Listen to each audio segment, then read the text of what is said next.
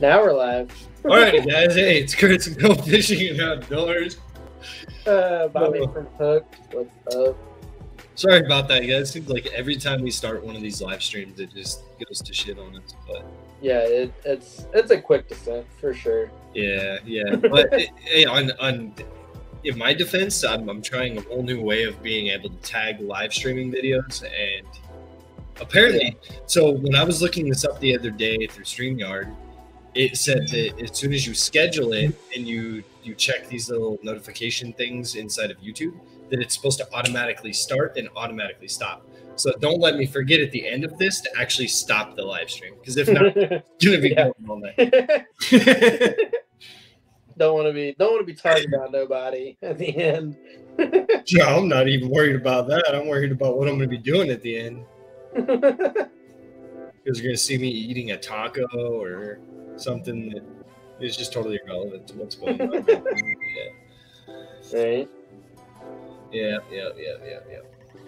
But yeah, guys, uh, what's going on? Um, we're gonna be talking about a few different things today. Uh, so I'm kind of moving into some different things with the channel, and I know I talked about it before in some of our other live streams on the Fishing and Outdoor Discoveries page. Um, but since it's literally just me and Frodo that do the live streams now, uh, figured we'd go ahead and split it up. That way it's on both of our Facebooks and YouTubes, which I don't think I added your Facebook page. I don't know. I don't know what I did. Yeah, I don't know. I don't know either. Either way, I know it's on Facebook and it's on YouTube, guys. So we're going to go over some stuff throughout this whole live stream. We might even pull some stuff up on the screen and let you guys look at some stuff. Um, but yeah, I don't know. Let's just get into it then, I guess. Um, feel free to comment anytime you guys want. We should be able to see all of your guys' comments live. I'm watching mine. I can also watch yours. you want, So I'm pretty sure that all of the comments should show up on StreamYard now. I, I know we had issues with that before, but I, I think I fixed that. So but- well, let's find out. Let's find out. yeah, yeah, we'll find out. So one of you guys just say hello or something in the comments, uh, and it, it should let us know what platform you guys are watching on too. So, um, but yeah, guys. So we're gonna be talking a little bit about um, just fishing in general and uh, some bushcraft stuff. See, okay, so we're getting Frodo's comment from. I, I don't see that. I, I have to see it on your side apparently. oh, Okay, Steven, what's going on, man? Okay, so I know Facebook is working, so that that's awesome. It's great, great, great, great, great. you got my tackle bag, guys. So if you guys want to see any of the stuff that that I'm having some luck with this year, uh, feel I free. should to have brought mine up. I didn't even think about it. I was just like, hey man, let's go live. And then I was like, you know, I am ill prepared for this. Let's go live and not be prepared for anything. yeah, yeah. You know, That's how our typical. live streams go, though, dude. Like, there's no point being prepared. Yeah, that's Yeah, you know, typical live for us. Um, so yeah, I guess we'll start off by talking a, a little bit about how our season's going. I know me and Frodo started off this year super super slow, and Oh, then it yeah. picked up, kind of slowed down a little bit again for me, but uh, I think it's picked up for Frodo. So I'll let Frodo kind to talk to you guys a little bit about um, yeah, so, his transition. so I, I started off again, you know, trying to do the whole freshwater thing, and it, it just it didn't work for me. I might go back into giving it a try, but dude, I don't know. As soon as I hit saltwater this season, and I started landing fish, I was like, this is what I chose to do. So, you, you know, it's just how it goes. And, Um, dude, that's what baffles me though is like you're a saltwater fisherman, which you would think would make freshwater like that much easier for you. You know what I mean? Because it's just I don't know. It it it just would feel like you'd be more universal. You know? Yeah, no, I, dude, I completely agree, but it just doesn't work for me. Like, I've tried spinners, I've tried crankbaits, I've tried lipless crankbaits, I've tried jerk baits, I've tried swim baits. Nothing has caught me anything in freshwater, dude. I've I've literally sat at this like not the same spot, but like you know I've walked around this little pond for like an hour and a half switching stuff out. Didn't catch anything. Like I didn't even get snagged on the bottom. I didn't even catch like weeds, dude. It was bad. Like it was just exercise at that point. You know it's bad when you can't catch a snag, dude. That's funny. yeah, yeah. It's like, man, I was throwing that crankbait into a bush, bro, and it came right out. right out, man. Um, I I can obviously you know catch catfish and brackish water, you know, with fresh saltwater meat. And I'll put it this way: when it splashes back at you, it doesn't taste like salt water. Yeah. But I know it's brackish water because you can also catch like croaker, and they're a saltwater species. Um, but yeah, dude, I, I can catch catfish all day long.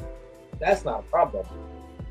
It's all the fun species to try and catch that are a problem for me. I, I just I don't know. I don't know.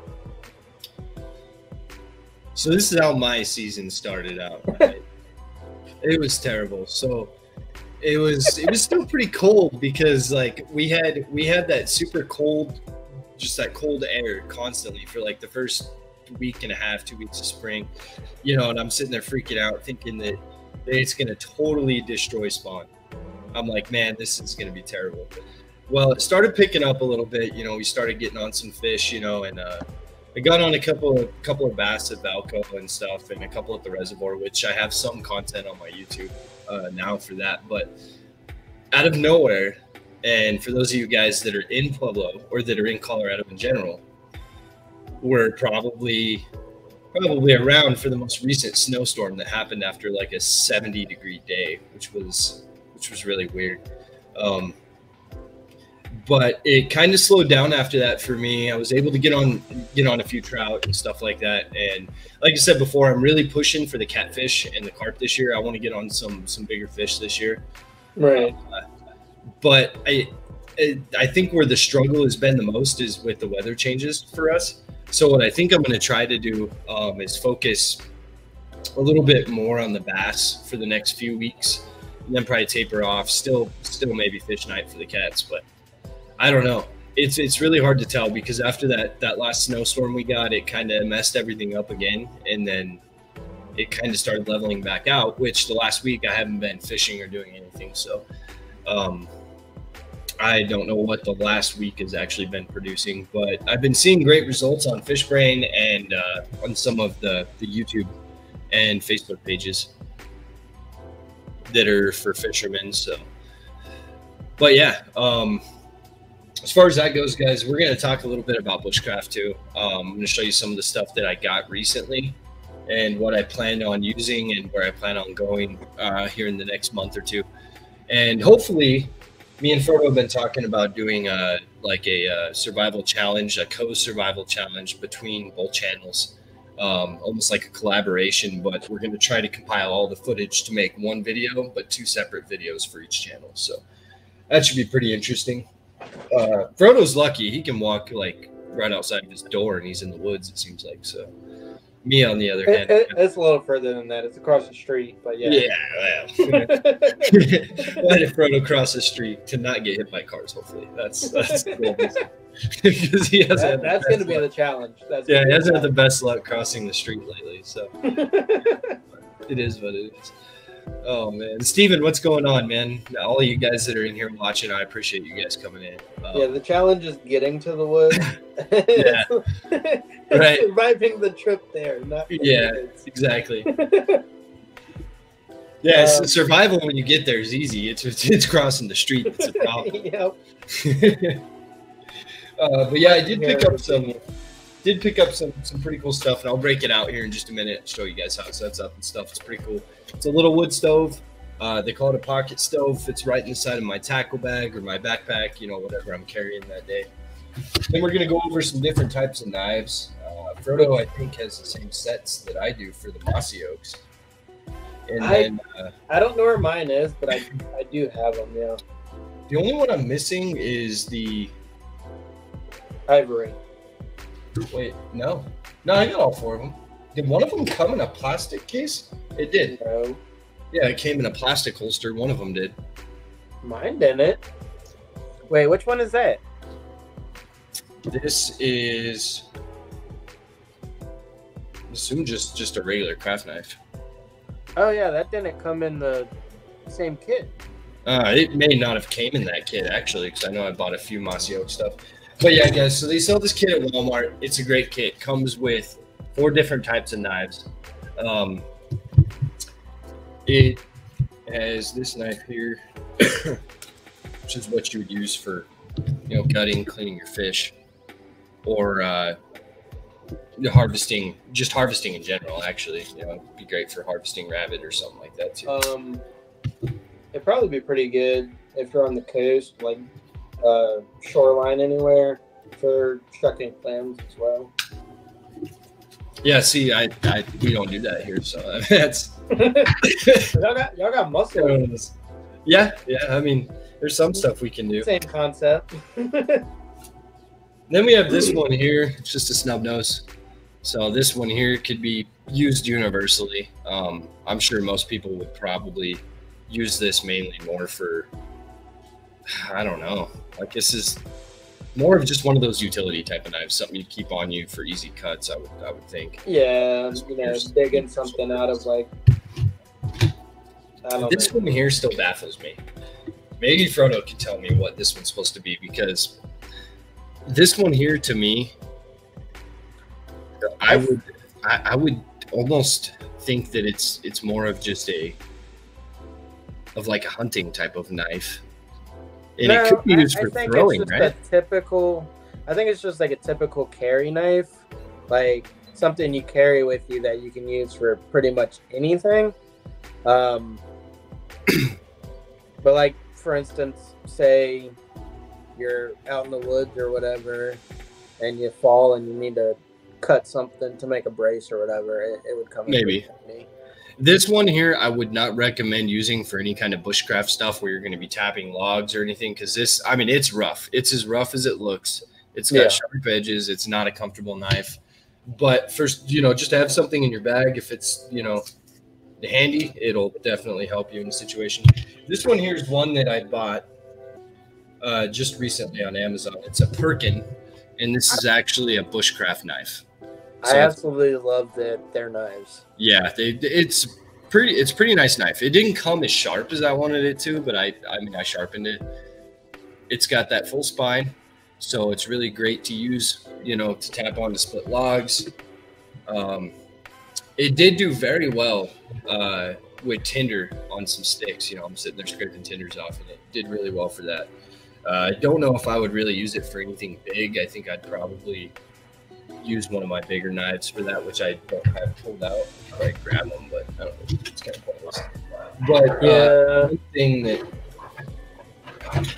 a couple of other things that you guys should always carry in your bag. I mean, these you can pick up at Harbor Freight. I like keeping them in my bag just because if I'm shaping something out of wood, it's nice to have. Just a simple file. Oh, okay.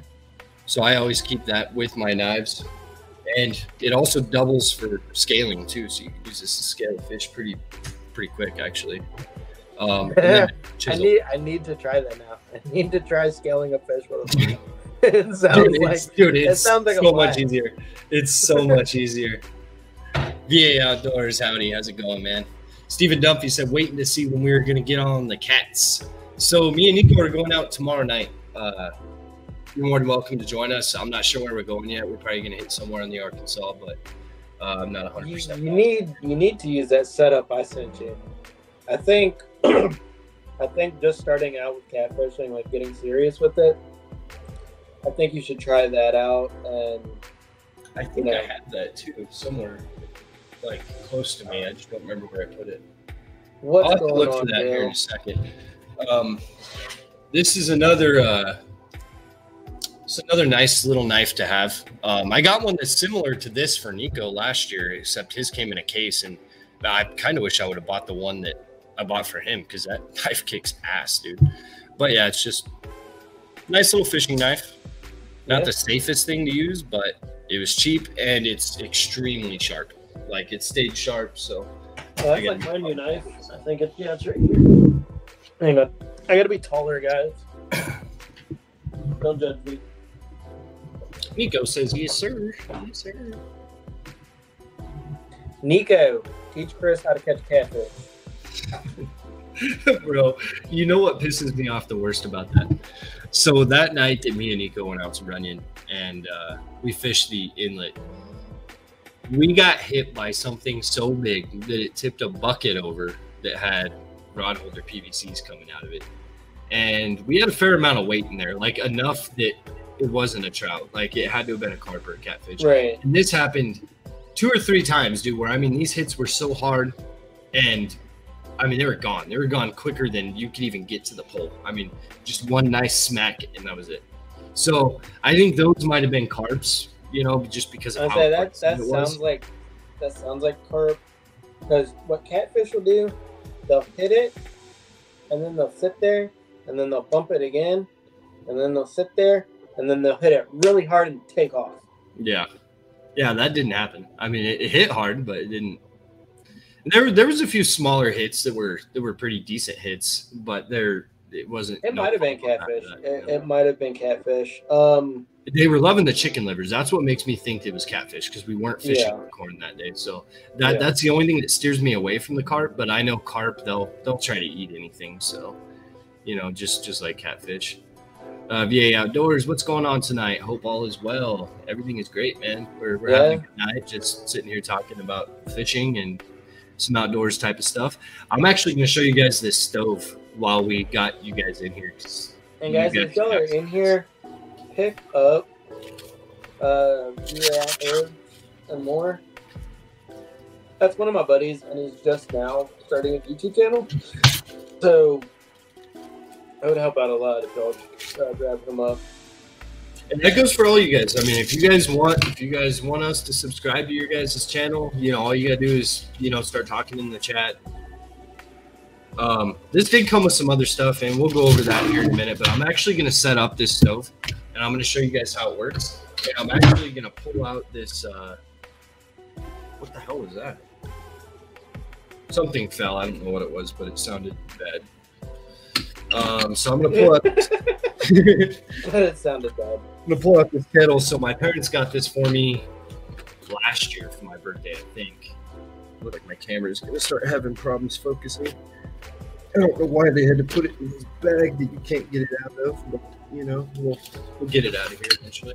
So it's a pretty nice little kettle, guys. It comes with with the cup and the spoon and all that stuff in it too. Uh, I think I did a review on this. Did I? I think you? I did. I know you did a review on the survival kit. I don't know if you did a review on that. I don't know if I did a review on this, but if I didn't, we will do a review on it. Um, but yeah, it's just a nice little kettle, good for cooking, you know, cups of soup or coffee, tea, whatever, you know. Um, but this, uh, this little stove, it comes in this this little pouch, so it'll fit in a cargo pocket, honestly. And this is your stove, all your stove parts. Go ahead and we'll throw it together. Yeah, yeah. I don't think you reviewed that. You just did the survival kit unboxing review. I know I didn't do the stove for sure because this was something I was actually gonna wait to do until a live stream because I wanted to actually put it together live. Right. and my plan was to actually put it together live blind, but I wanted to make sure that I had actually got to use it once and it was actually a good product before I recommended it, which Right. Is it's an awesome product, guys. Um, I think I paid 30 bucks for it. Well, I think it was like 25 bucks or something on Amazon, so it wasn't too bad. Uh, Yeah, that's not bad at all. No, no, I mean this thing. This thing here can help you out a lot, especially if you're in an area that, uh, like here in Colorado, where fire danger is, you know, fire can spread super easily up in the mountains or something. This is something that's nice to have because it's easy to contain, and that's how fast it went together. I probably could put it together faster if I wanted to, but I mean, it took me less than a minute to put this thing together Yeah. and I set it down where you guys can see it here. Um, but yeah, you'd put your your sticks, your twigs, you know, whatever you want in here. It doesn't not a whole lot of room, but it actually does hold a lot of wood. Um, just smaller pieces of wood. But yeah, you can get your kettle and you set it on top. And you got yourself a little wood stove, a way to warm water, you know, purify water, whatever. So this is something I That- like. that's that's my favorite feature is Yeah. that you know it, it it has that specifically set up for you to put like a kettle or a pot or whatever on so you can boil water or cook something small. You know. Yeah, and I mean it's really important thing to have because I mean in most situations, especially survival situations, not so much bushcraft. You know, bushcraft are, are planned trips usually, whereas you know a survival situation you don't know where it's going to happen. So if you have this with you, you have a way to purify water. It's dirty water. You know, if there's a mud pile, it doesn't matter. You have a way to purify water. Might not taste the best, but um, it did come with a few other things too. Well, so little wire saw, and it also honestly, came. I, I would cheat. I would cheat. What I would do is I would get an actual kettle with like the steam spout, and I'd get you know some type of thick rubber hose, hose rubber hosing. I guess that's the right word.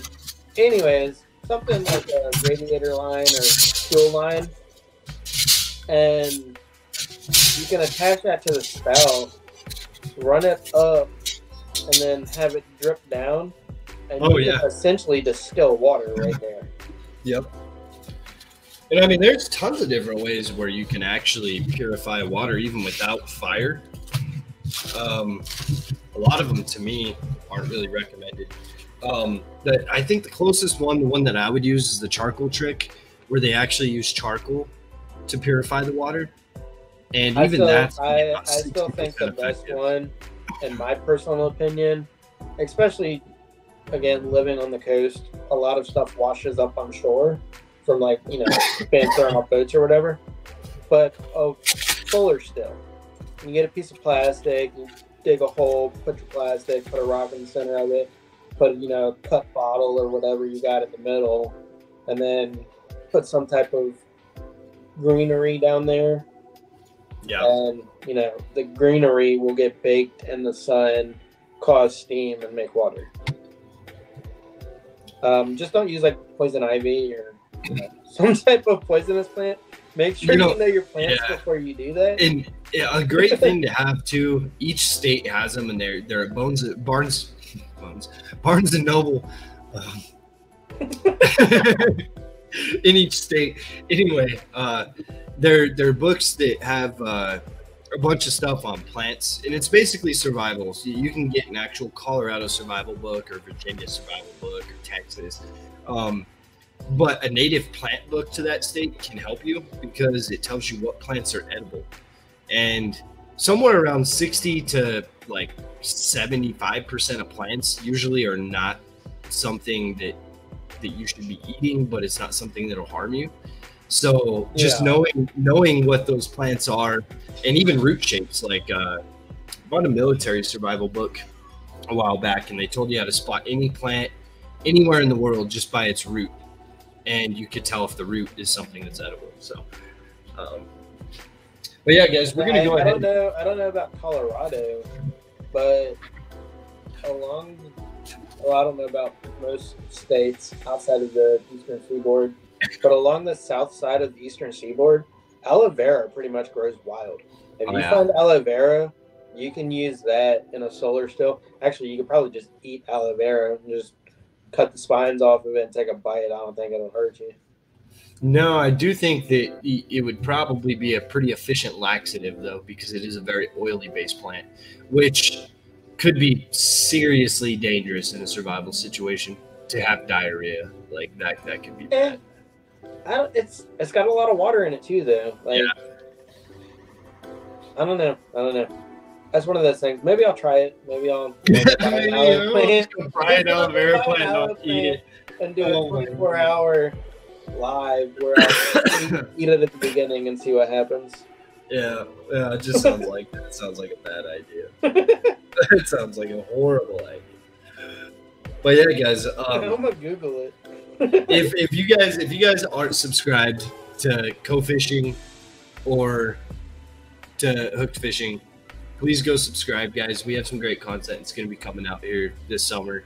Uh, a lot of planning to do. I got to try to figure out a way to prioritize my my content a little bit and figure out where I want to go. Um, I decided I don't think I'm going to push too hard on the rock hounding stuff. It's uh, it's extremely time consuming and it's it's gonna put me in areas of Colorado that that take a long time to get to. So that might be something that I just do a video on, you know, maybe once every couple of months. I don't think I'm really to focus on that too much. Um, well, yeah, I guess we could start talking a little bit about uh, fishing. I think that's what everybody is kind of here for, probably. Um, you know, we can talk a little bit about what gear we're using or what gear we want to be using. I don't know. I, I think I'd rather talk about what gear I am using right now because it's going to be more beneficial for those people that are here to see what I'm Yeah. using. Um, so just real quick back to the aloe. It says while most people apply the gel to the skin, it is also safe to eat when prepared right. There's apparently a laxative layer that if you can distinguish it, you can remove that layer and the gel and the skin are safe to eat as long as you remove that layer. Huh. Okay, so I was kind of right there. It's a laxative Yeah. plant. Yeah. But even even most cacti are, are laxative too. Like you got to be real careful what what cactus you eat. Um, which I do me personally, uh, I've I've actually tried chewing a few different species of cactus, and of course you have. there's no water in those. So that was a fucking lie, man. Um, Oh. prickly pear. I know prickly pear cacti. Yeah. If you uh, roast them, they're actually really good.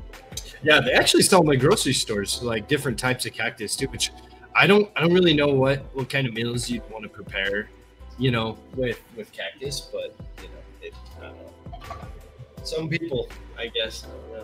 It's not my thing. I actually, uh, I actually have a hard time eating salad when I have. So, um, but yeah, so this was in a few of my my last videos. This, this is my spin rod. It's the Revo X combo. So far, it's it's been one of the best combos I've ever had. Uh, when my wife first got it, it took me a while to get used to it. it it's a heavier rod, so you know I'm used to using uh, lights, and this one is like a I would just say a straight medium. I wouldn't even say medium light, but uh, it does have great action on the tip. And so far, it's held up to every fish that I've been able to get hooked up on. So, um, Nice, nice. Yeah, I um unfortunately don't have any of my gear in my room with me. Uh, I went fishing last weekend, and it's all still down in the basement. But um, I typically do bottom fishing when I go out to the pier, but I decided to dig last weekend, and I went to Walmart and got one of those one and a quarter lead uh. It's about yay long.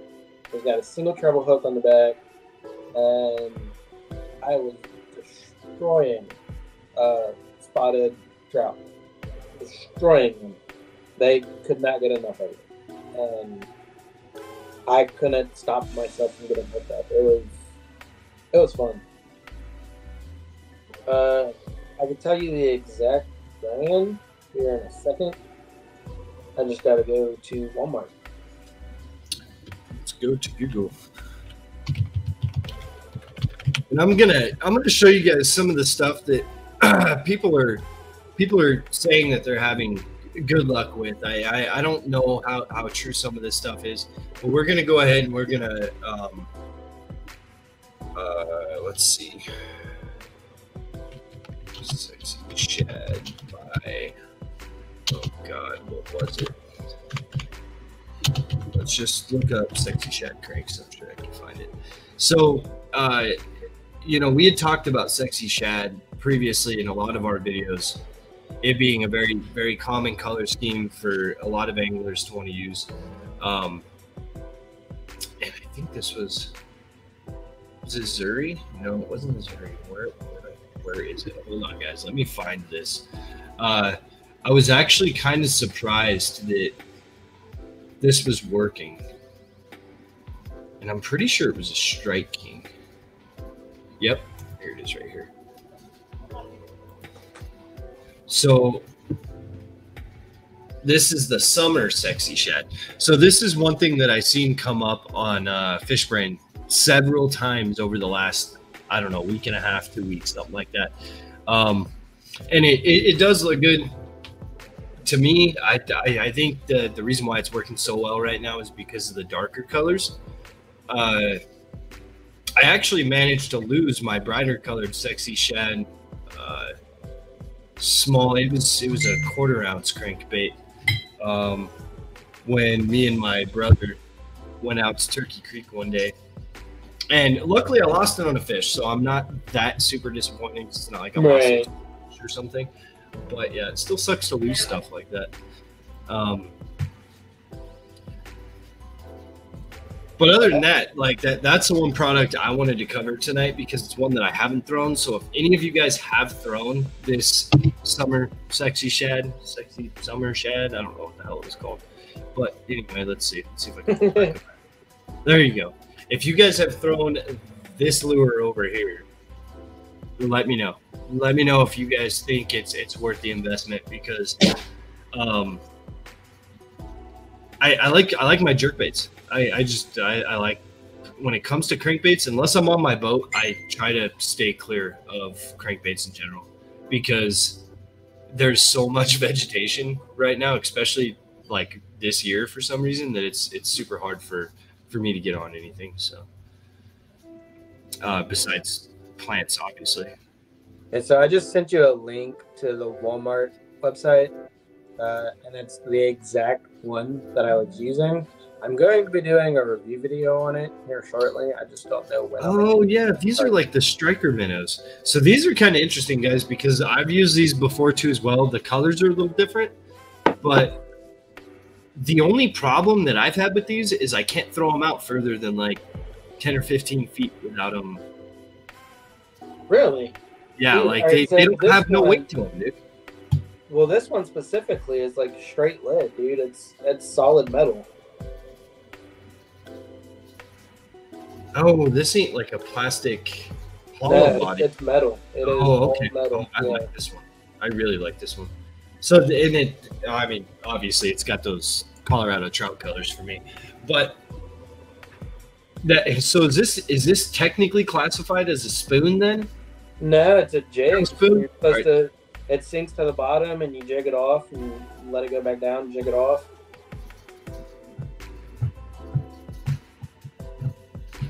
See, what gets me is that treble hook, man. Like that is that's just a killer for for the bottom, dude. Like, but it's in theory, it's the same thing I do with with my Kastmasters. It's a narrow spoon. It's heavy. Yeah, yeah. I and I bounce it off the bottom all the time. So I guess it's kind of the same thing. So not really much different there. Uh, you know, I think I think with all the weight being up front, the treble hook's not going to give you an issue. yeah, Um, Yep. Because I, I do know it's wider in the front. Like you can clearly see it's wider in the front. So there's more weight there than there is at the back end of it. Um, but no, man, it works great for trout here. Yeah. Sea trout. I don't know if it works great for freshwater. But you know, trout trout is a species. I I think that they're just kind of universal. Like I bet you, if you were to send me that, or if I was to go buy, because I don't think they sell that specific one here. They might. I don't know. dude, I'm next time I go to Walmart, I'm getting like six Oh, yeah. more in all different colors, and I'll grab an extra one for you. Yep, eh, they do not sell it here. So yeah, if you want to ship me one of those, I'll throw it. I guarantee you, freshwater trout will will bite it. Like I, I can almost promise. I kind I kind of want to see it, just because, like I said, it's it's an ounce, ounce and a quarter, or an ounce and a half. You could probably cast it a good, you know, fifty yards. Well, dude, like, what's funny is like, I don't know, what do I have? It's just kind of random. Oh, like, like a cat, like a tab on a can. I could literally try to weigh that down a little bit, throw it out there, throw hook, the treble hook on there, and I could probably catch a trout with it. That's Yeah. just how it is here. I mean, they anything shiny, especially like when you get into that early evening when it's the sun's you know just hitting that water just right like they'll they'll bite anything shiny um and the Yeah, same kind of goes for for wiper too you know striped Yeah. bass whatever you want to call them i know it's I um I still want to try and make a spoon out of an actual spoon and see what happens. you remember those spoons that we i think we tried to shape some spoons a few years ago i was in the garage and then you tried one i think too Yeah, I remember going to the Dollar Tree. when we did that. Thing. Yeah, yeah, and it was like it was all jaggedy. I remember my fingers were getting all cut up, and yeah, yeah, Yeah. all bad. Yeah. So this time I say we get like a spoon and a torch, heat it up, you know, hammer it out, and then get like a grinder or something, smooth it out. Yeah. So I I think you know it'd be awesome if you could get some heat on it and actually shape it. But you would Yeah. have to find an old school spoon. Like it couldn't be nothing that's newer because it's all that uh, that plated stuff. You know what I mean? Yeah. So I don't know on that one, but yeah, I, I don't I mean- really know. Go to a thrift store and pick up one random spoon, see what happens. Oh yeah, some old like Victorian styled spoon. The ones that weighed. Remember those ones grandma had that weighed like forty pounds when you'd go to yeah. It was like your hand would be I tired. by was the just time about to say, you're just go to your grandma's house and steal a spoon. Yeah. Oh, it's funny too. 'cause My grandma actually gave us some of those heavy spoons a while back, or like the whole silverware set. I'm like, I, I can't eat with them, dude. Like the kids use them all the time. I can't do it. They feel too heavy to me. yeah, same. And Um, yeah, I don't, Dude, I don't I'm, like it. I'm super weird. Like I can't even use a fork if it's too long. I, I don't know. It's just weird to me. Steven says, "Let me know how you want it. I can make it, bro. Doesn't matter. You make me a spoon. I'll even review it on YouTube for you. Send me one too. I'll even shout you out on it. Yeah. Make us a couple of spoons. We'll throw them in.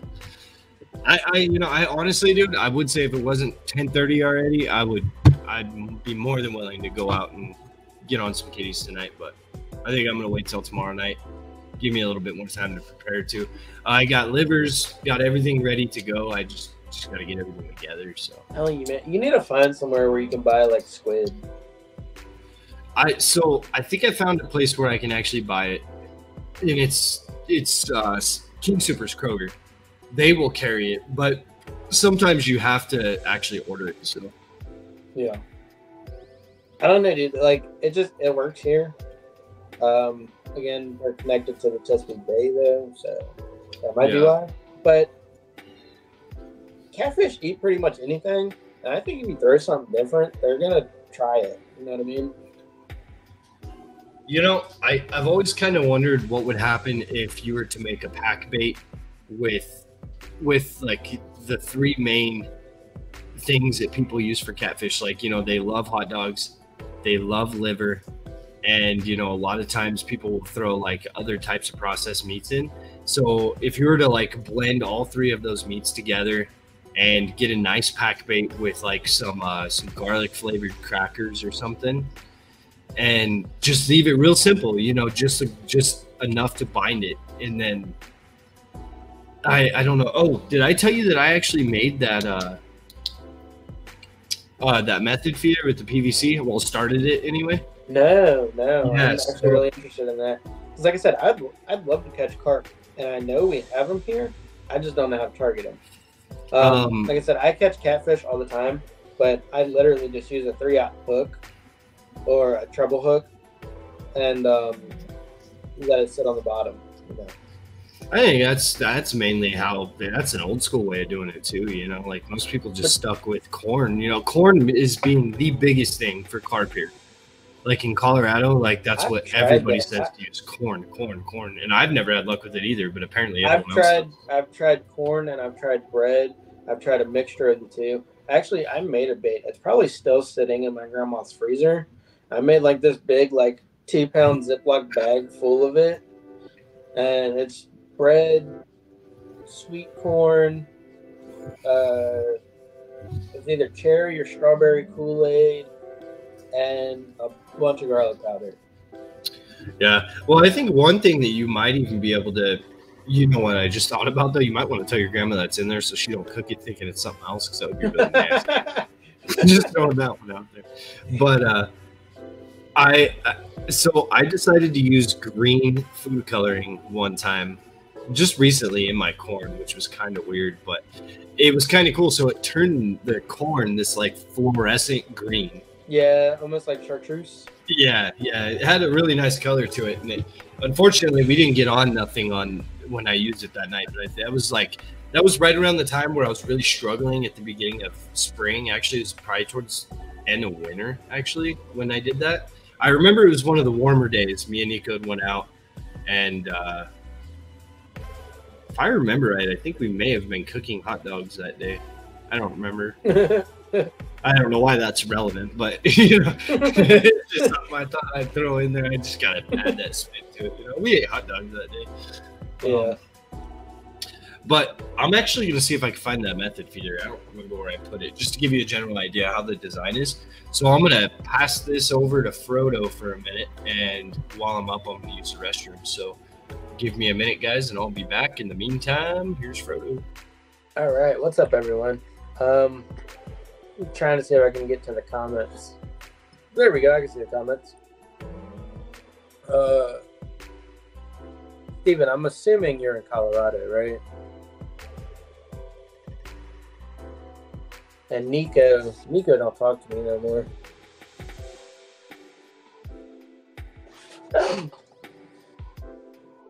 Sorry, guys.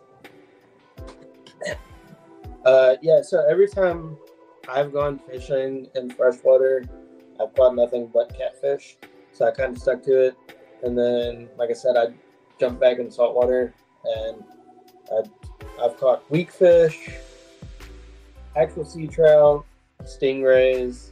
I caught a bluefish and a couple little spots and then a croaker.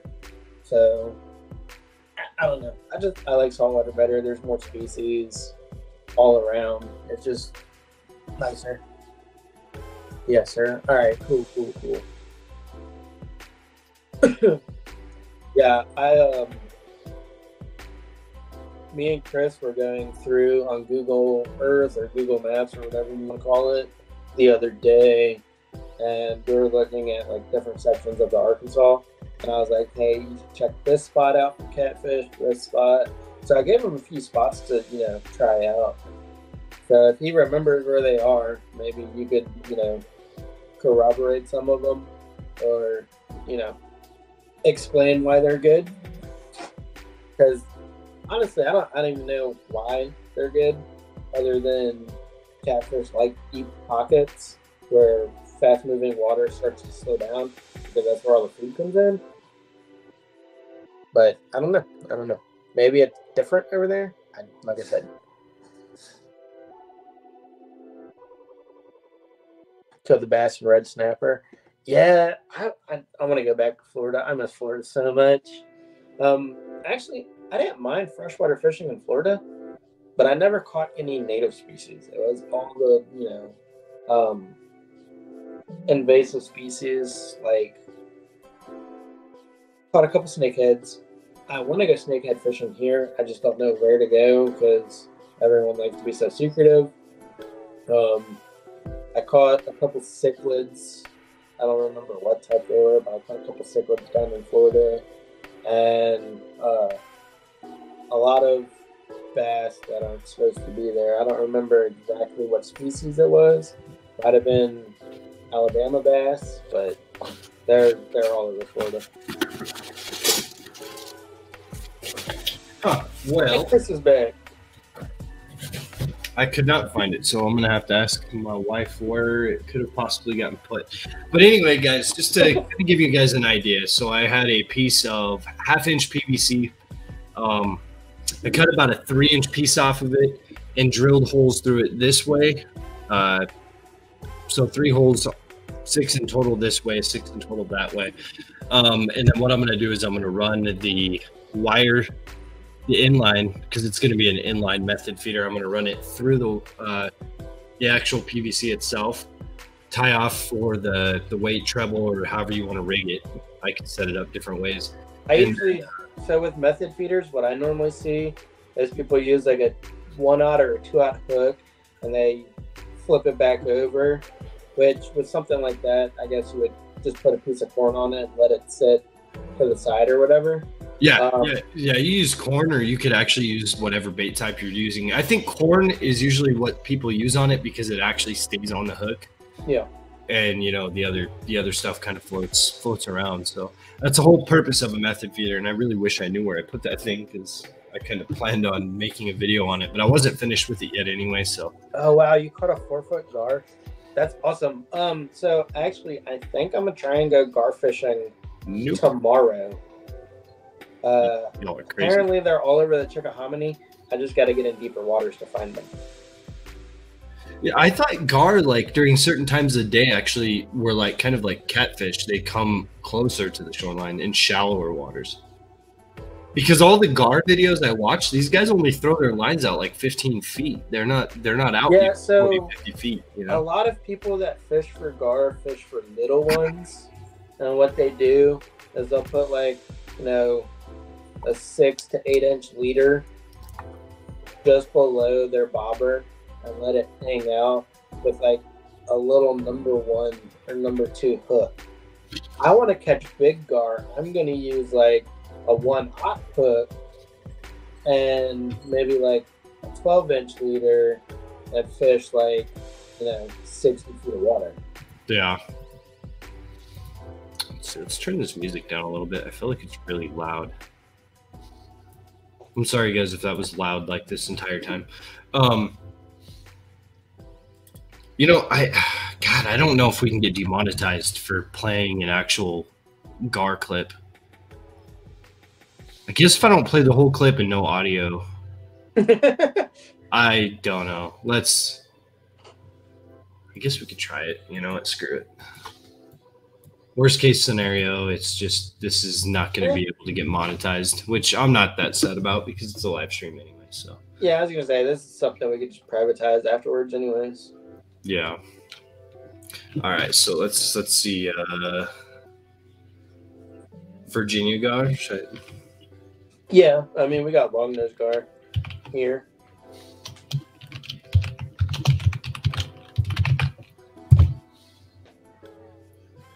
But West. yeah, gar do West like crazy. Let's see. Oh wait. Summer.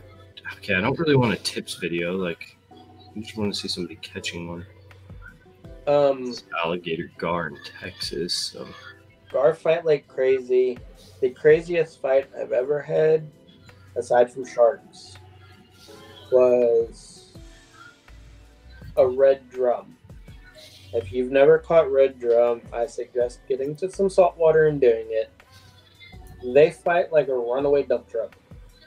really, Yeah. And it's amazing.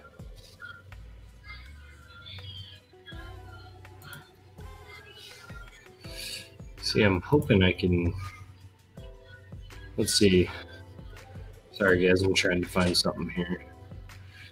This, yeah. So this this isn't a very big gar, but yeah. Hold on. Florida gar, Florida gar or long nose gar too, right? I think it's the same species as long nose gar. Well, I think Florida has alligator gar too, though. Tuna, tuna's a good fight too. I've only done that once, and it wasn't a big tuna. So I'm actually gonna let I'm gonna let Frodo find a video for us and send it to me, and I'll play it. Just Yeah. because I, I don't have experience with gar, we don't have them here, so I don't know what would be considered a good gar catch. And I'll I'll play it for you guys so you guys can actually see it. But um, you know, one thing I'd kind of like to, you know, maybe try for this year if if I can get to an area that's that's not super super far but that's why i was thinking texas because you know it's the gulf is the closest. I really want to try maybe getting on some of the smaller sharks there just because Yeah. frodo's been basically talking about it constantly. And at first it's funny because i was like you know what? No i no sharks. No it ain't gonna happen. I'm not gonna you know it's he's leaving with whatever's on the end of that line because i'm not getting it off. But Dude, you know it, it no, you got you got to come to the coast. You got to come to the East Coast. If you go down to Texas, I'm gonna be very upset.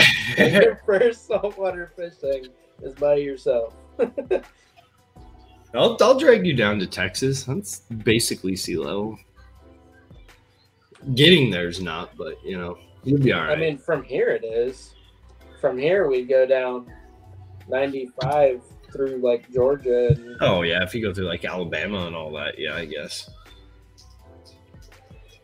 Which yeah, that would be the fastest way for you guys anyway.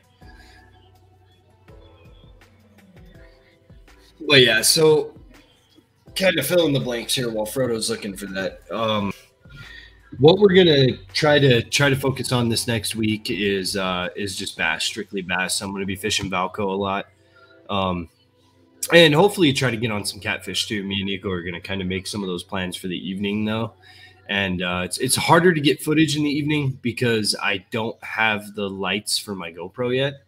And just thinking about that, I should have gotten one today while I had the chance, but I did not think about it. Uh, we do carry lanterns and stuff, but you know, Is Steven still here? I think that that's his name, right? I think so. Yeah, yeah, Steven. Right. Actually, I have a question for him because here, during the day, the best time to catch bluefish is like during the day, like the middle of the day. Blue catfish, anyways. Um, channel catfish and flatheads come out more at night. I don't know if it's the same there, but I, I think it's because blue catfish can live with X amount of salinity, so they actually move into the Chesapeake Bay at night, and then they move up into the rivers during the day. That I kind of makes sense, though. I, I think that'd be the same pretty much anywhere, right? Well, you don't you don't have like a big body of salt water for them to go to at night. You know what I mean? So I, I don't know if you know it changes the behavior any, the you know being strictly freshwater. I yeah, I don't know. That'd be a question for him. Because if if he lived down in Florida, he's caught catfish down there for sure. Um, which is probably why he catches catfish in Colorado, because again, bass and trout, and, you know, bluegill, they just don't put up the same fight. Yeah. Well, and When, you when know, you're used to catching fish in Florida, you go to Colorado and you're like, "Oh, I got a fish." That was nothing, and it's like a 15 inch trout, and you're like, "I, I don't even know if I fought it," you know. yeah. So he said cats you can get anytime. Night is best, but I've got them in the middle or the day, or in the middle of the day too. Probably is what he means. So like, there's this guy that I've been following. Um, the last few weeks, it's a guy that I'm trying to collab with on YouTube. He's actually from Pueblo too, or at least from close to Pueblo somewhere. Uh, Allmouth Bassin. Hope he's okay with me shouting him out in this video. But uh, I see a lot of the stuff on Fishbrain and you know some of his content in his videos, and it seems like he's kind of all over the board too. It's sometimes it's still daylight, sometimes it's at night. Seems like he has more luck at night. Um, I know channel, it's a little bit easier to get on the channels kind of throughout the day, but you gotta you gotta be in, in, in a specific area, specifically faster moving water. You know, it's harder to get on those catfish during the day in a lake. But you see, I don't even know how true that is either, because I've seen some people pulling them out of a local lake here that we have here called Minnequa during the day too. So I don't know. It's really hard to and as far as flatheads go, I don't I don't know if we actually have any flatheads outside of the reservoir. I know we have some flatheads in the reservoir, but Yeah, the, they're they're a lot like blue catfish. They're probably all up in Arkansas. yeah. Conroy's World of Fishing says hello everyone. What's up, man? How's it going? How's it going? What's going on, Conroy? What is going on, guys? And you guys are always welcome to ask the guest in too. I didn't even think to mention that this entire live stream so far, but if you guys have a story you guys want to tell or something, we can give you guys a few minutes on cam. Um, we we like to communicate with our community and actually face to face is usually better for us. You know, we're actually able to talk. So, um, Jaden Carrera says, "Oh yeah, I met Allmouth Bassin in real life before he had a YouTube channel. Really cool, chill dude. Yeah, he seems super chill. Like I've talked to him over Instagram and stuff, and uh, we're I, what I'm what I'm actually kind of hoping for. Like he's already agreed to do a collaboration with me. We're just trying to plan a time. Uh, we're gonna kind of try to combine it with a bushcraft and catch and cook. So I kind of want him to come for the fishing portion of that video and then uh, that night i plan on actually just staying in a certain area so i got to find an area that's going to work out best for that probably out somewhere by like swallows or something is going to be my best bet i'm going to mute my mic for a minute because My baby's going crazy in the background. I'm sure you guys don't want to hear that, but I'll unmute as we're going through. Conroy, doing great, man. Doing real great. Steven said Kentucky was a blast for cats in the daytime, and state record was pulled during the day out of the lake here in Pueblo. Yeah, I remember that guy that pulled the one the state record out of there. Uh, let me see if I can find that. Actually, that was that was pretty decent sized fish, actually. Uh, we're doing pretty good, man. Uh, just talking about fish and general outdoor stuff. And like you said, if anyone wants to hop in, uh, we can send them the link. Actually, are you able to put it up in the in any in the chat and pin it to the top? Yeah, I should be able to. Give me just one second here. Um, I can't remember what that guy's name was. Randy Stillwater or something like. Oh, Stillwell. Oh, man, is actually gonna show? Are you serious? That's okay. Hold on. I'm trying to find an actual image that's big enough to actually blow up here. Okay, so here is the. Uh,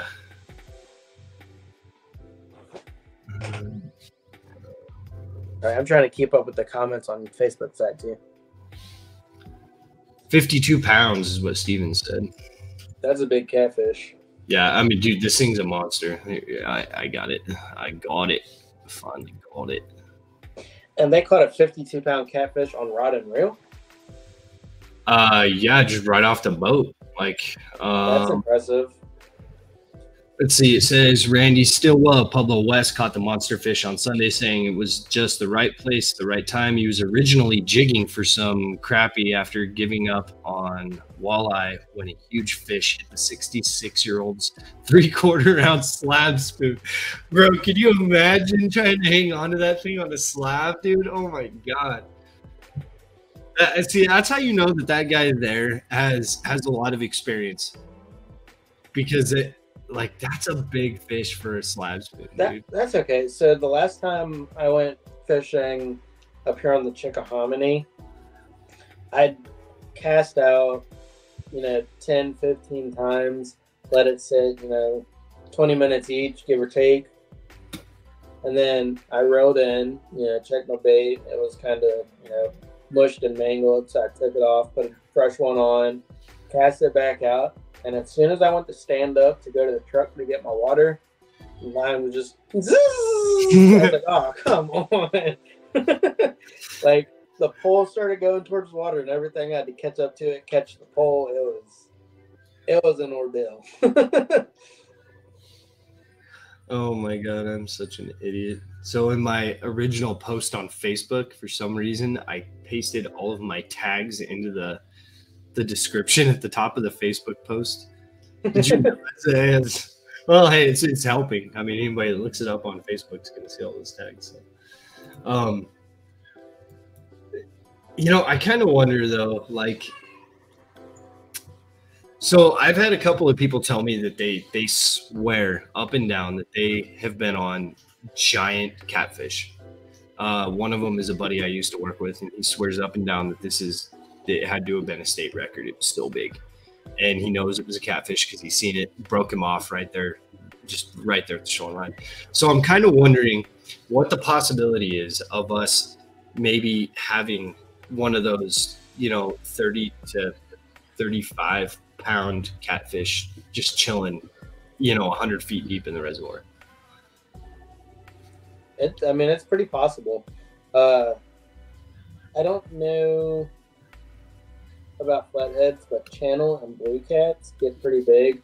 And like I was telling you the other day, they like to sit just outside of fast moving water. Uh, that's their favorite place because they sit there and wait for food to roll by. Yeah. Um, Well, when, when they're smaller, you know, they'll swim around a lot more. They'll hunt essentially. But when they get bigger, they kind of are just like, hey, this is where I'm going to sit for a while.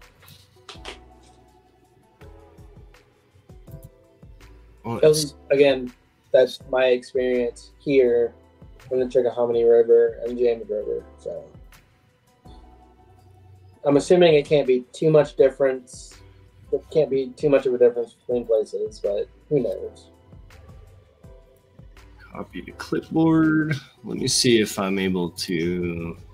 I should be able to add a banner, right? I don't think the banner would be clickable. Um, I think you would have to like comment. Oh, I could definitely drop it in the comments, but let's see.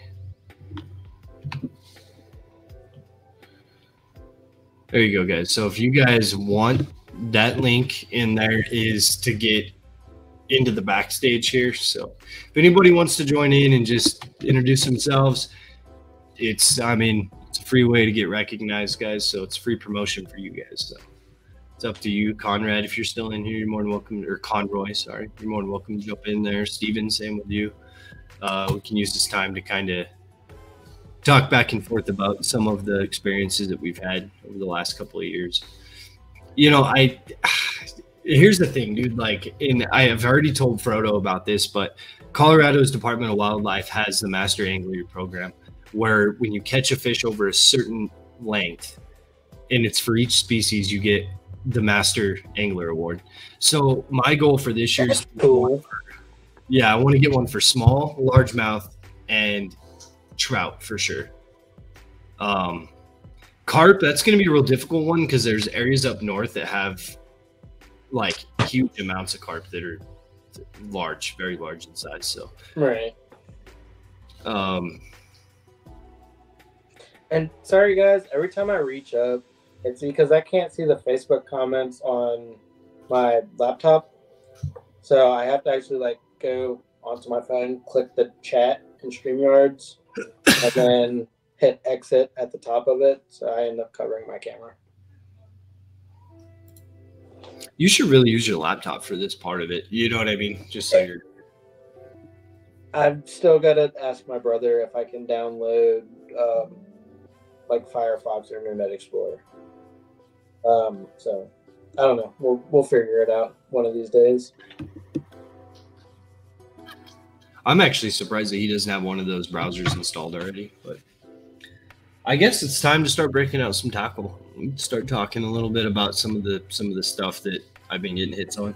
I wish I had mine in here. I really do. You're gonna get it if you want. I can hold them out until then. Nah, I'd have to walk all the way downstairs. It's too much work. So, I don't know how much light there's going to be, guys, and I apologize for that. I'm in a very dim lit room. Uh, so, obviously, you know, we, we talked Honestly, about all right. different types of rigs. Your Senkos, got your Texas rig, got your wacky rig. Those are the two that I use the most. Um, So you don't have to be set up for it. If you have a flat spot that you can like set your phone up, even if it's vertical, it doesn't have to be horizontal. But if you can set your phone up and just like copy that link and paste it into your browser, you can hop on. And again, this isn't like professional studio level stuff. So if you want to hop on, man, feel free. We we don't, you know, we're not worried about like your background or anything like that. Obviously, I mean, you can see my dresser, my PlayStation, a stocking from Christmas. I pointed the wrong way. You're on PC. Again, bro, like I said, want to hop on, it's not a problem. So right here, we're uh, say yeah, that's what I'm using. I'm I'm set up on my PC right now. 6th Sense. These are uh, flipping hooks by 6th Sense. Um, these have actually been kind of nice. Actually, they're super good in some of the vegetation. Found that you know works really well as uh, for a weedless setup, even though it's not really designed for that. It's designed specifically for flipping, but um, does work really well for that. And then I got some of these too. I have not got to use these yet. So if you guys have ever used these bullets, tell me how they work because I'm Yeah. curious. These are the uh, the pro bullets. Corner out. Wait, corner take, can you take one of them out? I, I want to see one like up close. Because I, I think that's what I want, dude. Like, that's the hooks that I've been looking for. No, no, these are the ones that I got. I got two packs. That they're the ones that are going to be sent to you, but Oh, have yeah, okay. That, I mean, that's pretty similar. Yeah. I mean, they they're heavy though. I mean, they're they, they are heavy, so I, I think they're gonna work okay. You know, I don't think they're gonna be terrible. So I don't know. We'll we'll see how it goes. You know, I got my whole box of plastics here. Um, this is what I use for you know mainly bass type of stuff, but kind of pull some stuff out, and I'll show you guys some of the stuff that I've had luck throwing this year. And you guys have any questions on where I got it or anything like that, feel free to ask. Um, oh, these guys, I, I think I got a video somewhere, but these are the Z-Man top water frogs. I got a great deal on these at Dick's, and it's the only reason why I bought them.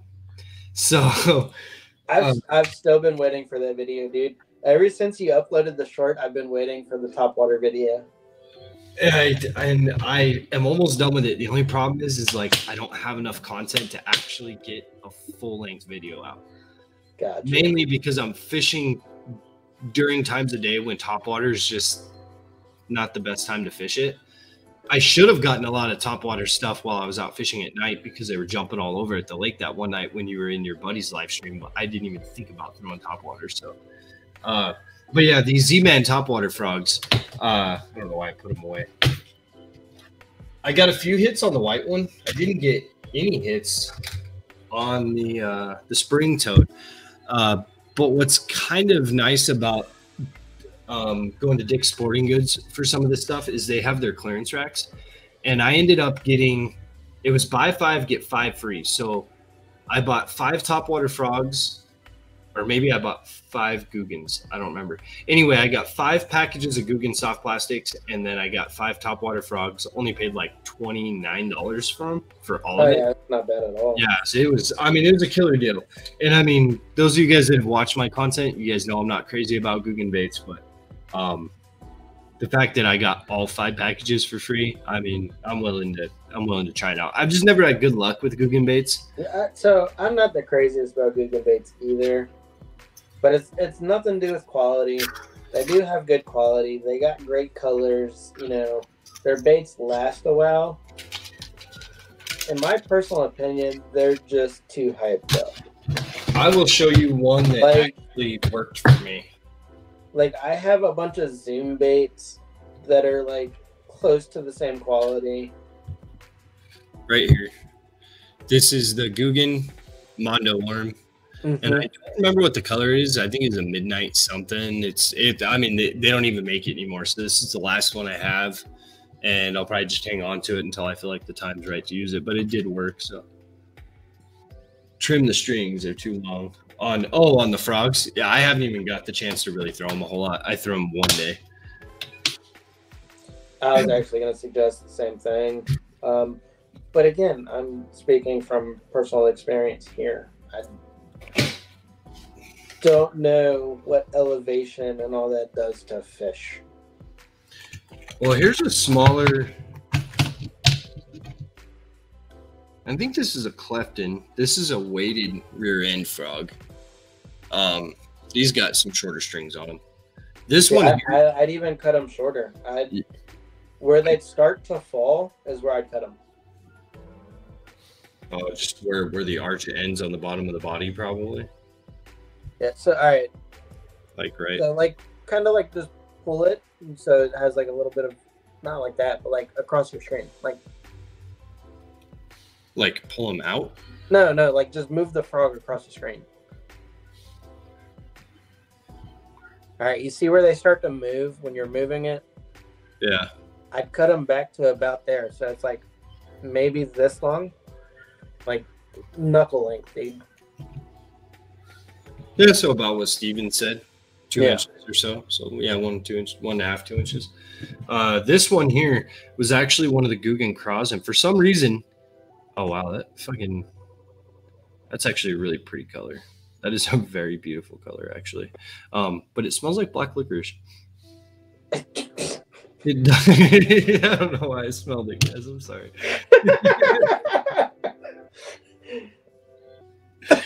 Oh my god. Welcome to the life of Chris. That's funny. Uh, so It's eventful.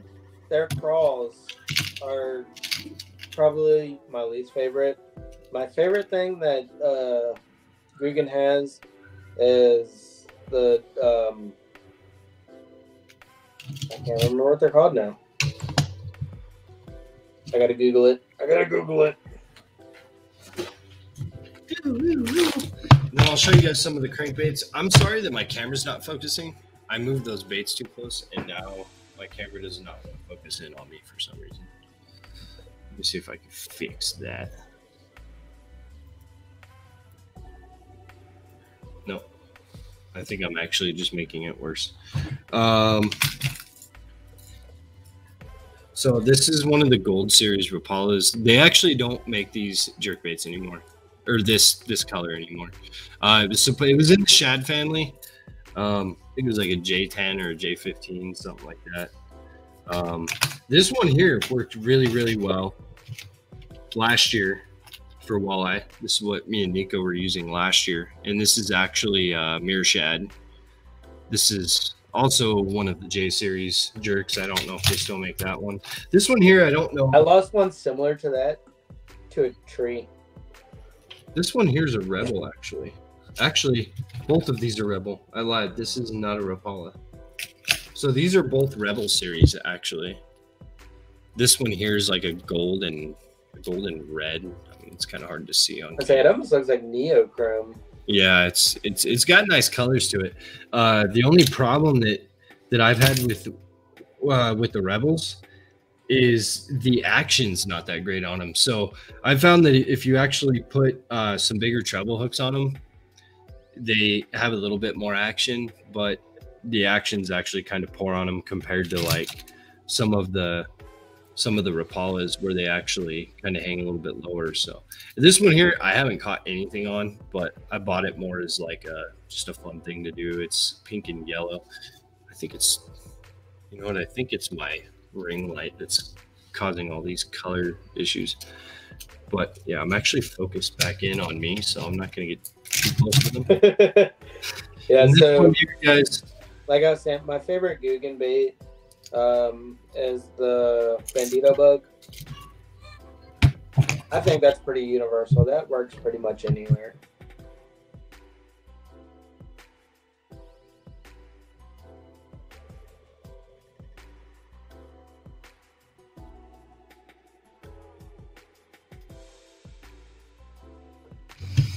Alrighty, so so yeah, some of the stuff that's been working for me. I've had really great luck on on the jerk baits this year. Um, obviously, earthworms all day long.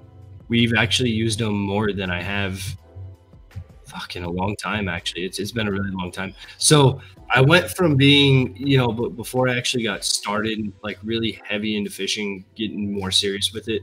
I was more of that guy that would just throw power bait and earthworm all day long. And what's funny is like I didn't have that much luck until I started fishing with with more artificial stuff, and then out of nowhere, like live baits are doing really well for me. Uh, shad is a really great thing to fish with too this time of year if you guys can find them. Uh, minnows, too. Yeah. minnows are so hard to find here, dude. Like, well, Pueblo anyway.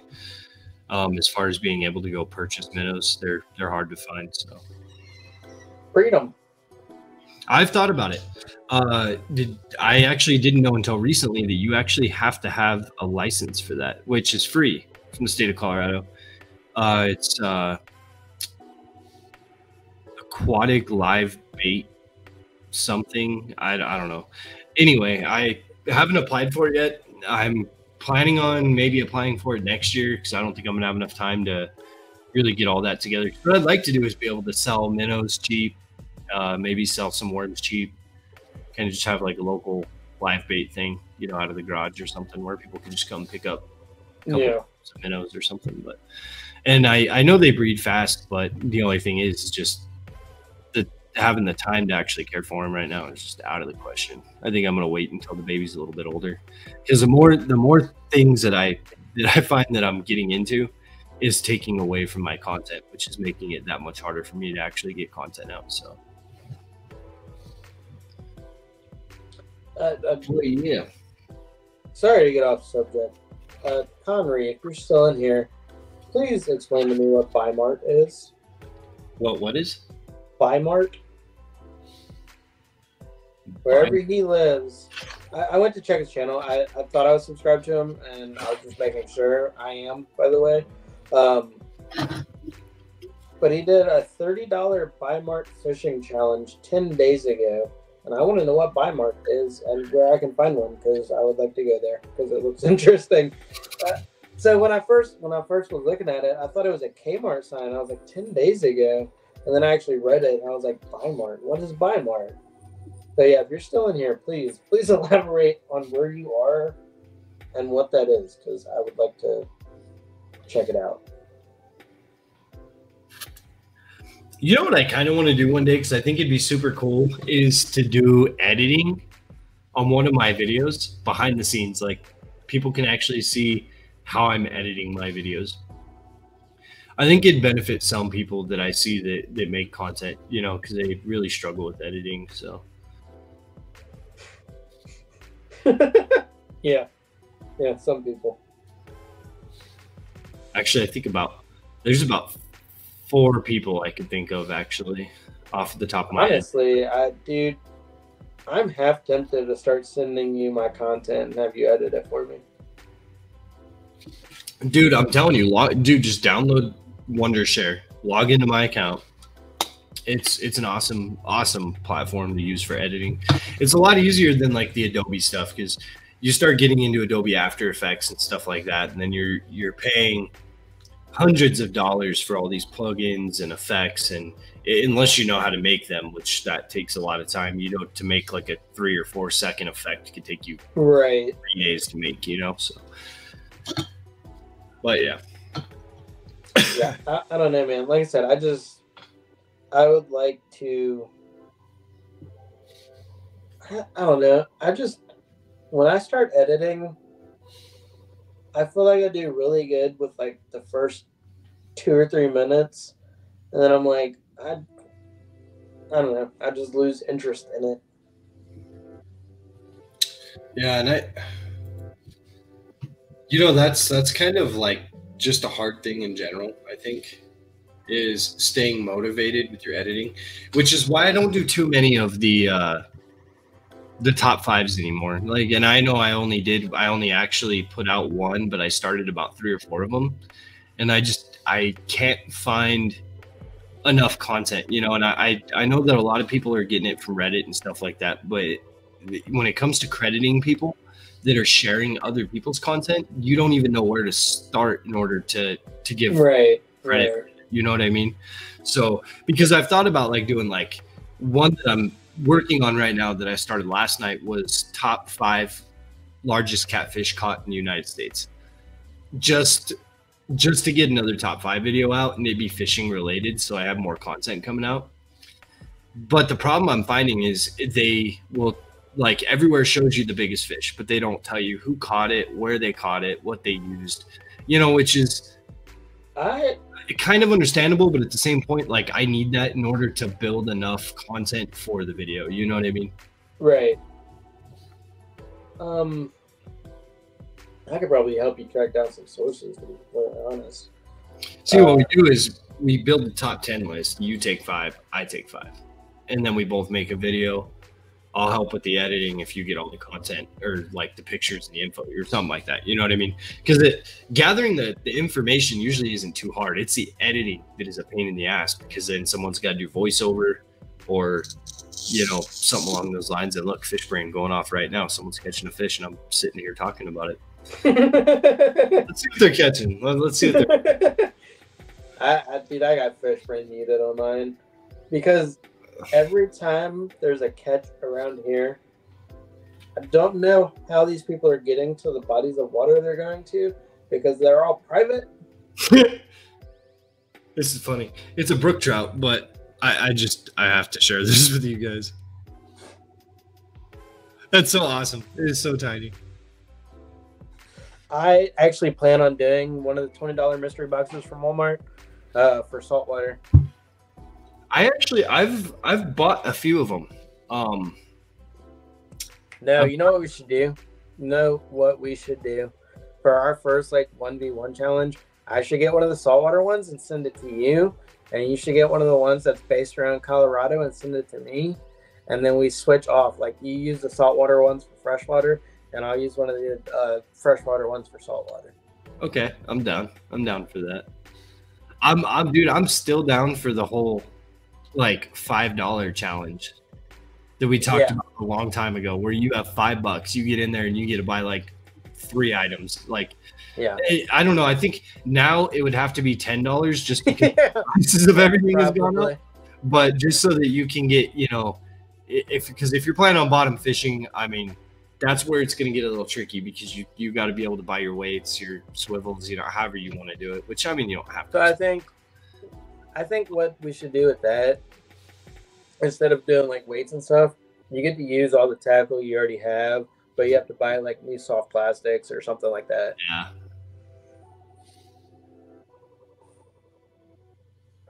But yeah, I, I really want to do the mystery tackle box one. I think that'd be fun. Oh, I think it'd be a blast, dude.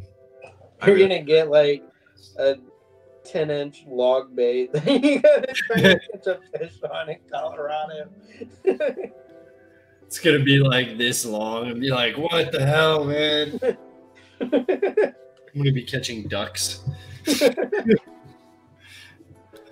oh, I I go running, bro. That beaver will take it. I promise you that that giant beaver that walked by me that I swear to God weighed half my weight at least. I did this thing might have weighed closer to like 70 pounds, dude. This thing was huge. It was That's, big. We have beaver here. I've just never seen them. We have muskrats. I've seen plenty of muskrats. Um, we also have river otters. I would love to go somewhere and find some river otters. Stephen Dunphy said, I did it. It was a blast. I'm assuming he was talking about that $20 challenge, fish challenge. You know what, Steven? You know what you should do?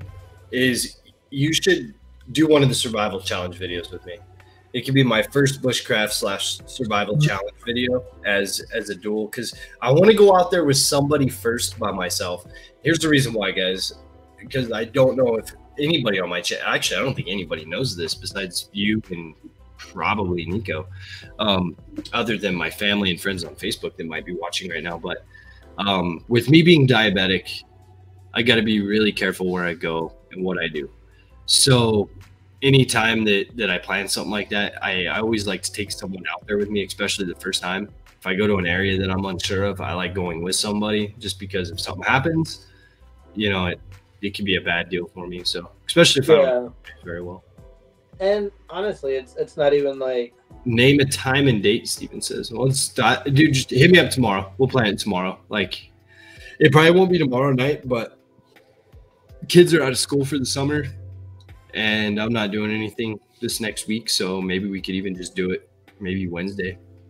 Because I, I have I have family that's diabetic too, and it's not even necessarily you know you getting injured and needing help with that. It's if your blood sugar like crashes or spikes or something, and, and you become incoherent, like you don't even realize it's happening, to where you can like, you know, get help.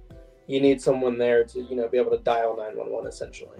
Yeah, basically, and that's the thing, you know, when when you're going to these areas, usually there there's some sort of a hike involved or a walk, whether it's hundred yards or a mile. It doesn't matter. You know, it's when it happens, like it happened to me the other day actually when I went to the river. And it happened so fast. I was on my way back and my blood sugars just tanked. Like I was walking up this hill, I was like, Shh, I could feel it. So usually what happens is I start getting like like a rapid heartbeat. Like I, can, it feels like uh, like an adrenaline rush, sort of like the beginning of an adrenaline rush. That's what it feels like for me. So but yeah, it happened while I was out fishing, and it was just a terrible experience because even even though I had sugar on me, it takes a while for me to start feeling normal again. Even after like drinking a soda, like it could take two minutes, it could take twenty minutes, and you know, going back from low to high again, that's a whole new feeling because then I go from feeling yeah. like crap on that end to feeling like crap on a totally different end. So yeah, so um the guy I know carries like peppermints with him. So if he feels it like starting to tank, he'll just pop a peppermint in his mouth. And because you know you don't like chew and swallow peppermints real fast, it kind of helps bring it back up slowly. Yeah.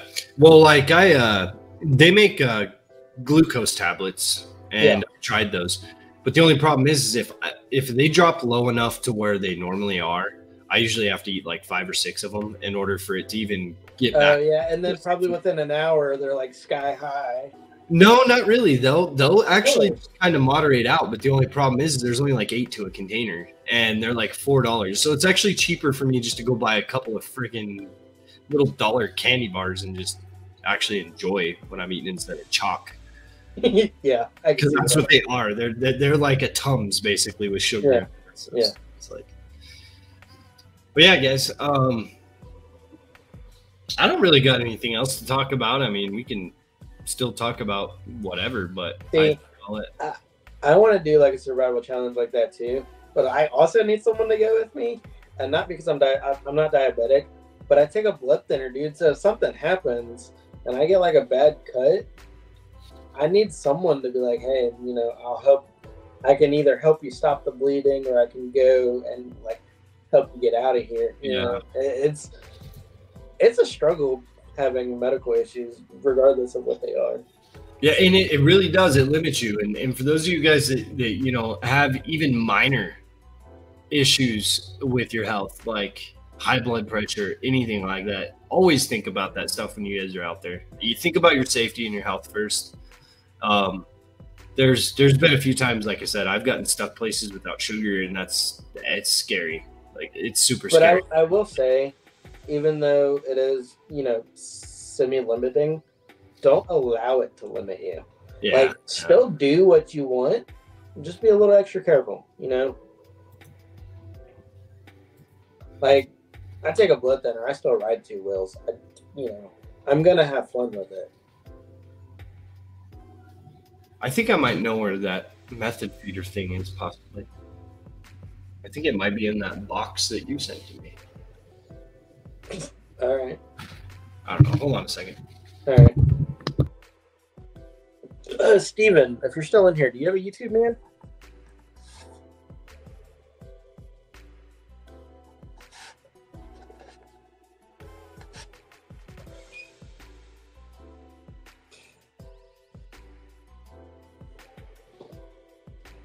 Also, anyone on the Facebook side, um, if you were able to, if you hop on one of the YouTube sides, I can see your comments a little bit better. But I mean, it's up to you. It really is.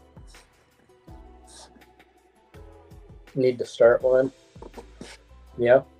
I say honestly, so if you're gonna start doing stuff with Chris, it'd be a great time to.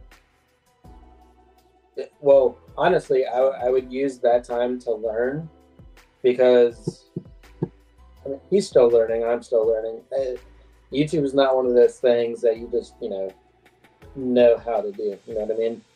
But I, I would take like you know the experience you have with him and creating videos, and then start your YouTube. And being so close to each other, you all can help each other out. It, it it is a big help having someone else with you that also has a YouTube. Um, like for me, I don't have anyone else around me that has a YouTube right now, so I kind of do all this by myself, and it it's difficult.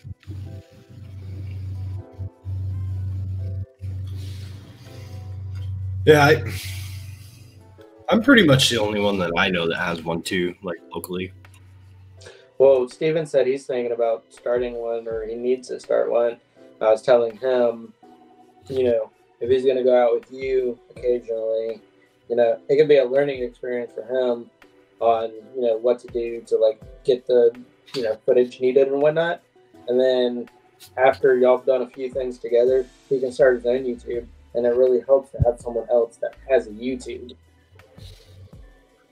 He said he said if he started one, he'd be outdoors like hunting and waterfowl. and see, that's what's great too, because I have a playlist that has nothing in it yet that's for hunting, and I've never done waterfowl, so that would be an awesome experience. That'd be a great collaboration, you know, being able to work with You've someone. never, you've never duck hunted?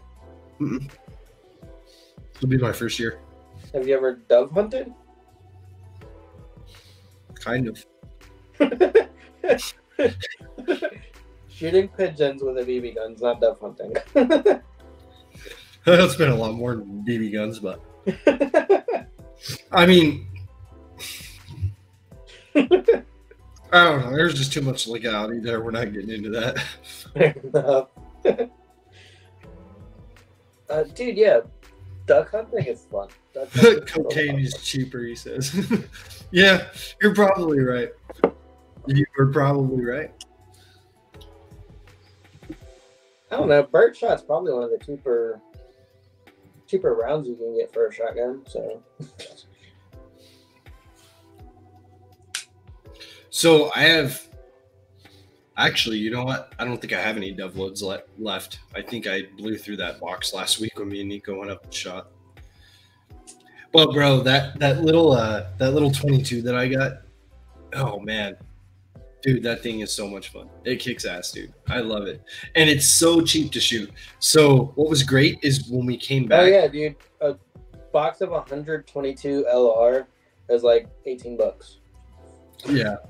Well, you see, what was really nice, dude, is like the last time we went up and shot up at Carrie's Sisters, we were coming back, and I mean, we were so sore, dude. Like, just everything we shot, dude. It, we our arms were done, dude. We were hurt. We even started shooting left-handed at the end because our right right shoulders hurt so bad. But uh, having that 22 there was nice because we just had something to break away from to save ammun- ammunition for one, and for two, we didn't hurt nearly as bad at the end of it. Yeah, I um, I want to get a 22. My buddy has one. Five grand in decoys and I got you on birdshot. Holy crap. Dude, I should have called you when I went to this yard sale the other day. This guy had 20 decoys. They were cheaper decoys, but they weren't like super cheap. He said they were like moderate decoys. And he was selling them all for a hundred bucks in this big bag. And he was selling them with a sled and a couple of other things. And I was gonna buy them. I just didn't have the money at the time. So I was like, yeah, screw it. But five grand in decoys, dude. Oh my god. That is insane. so geese decoys are really expensive here. So Like turkey, geese decoys. turkey are um, expensive too. but they're so realistic, man. It's ridiculous.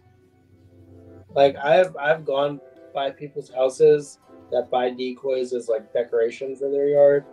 I'm like, yeah, look at that geese. Look at that goose.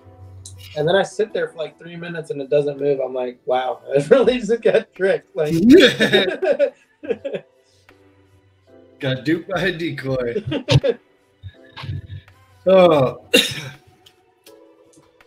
Well, yeah, guys, it's already after 11 o'clock. It looks like everyone's starting to taper out. We've been live for about an hour and a half. I'd like to do this a few times a week.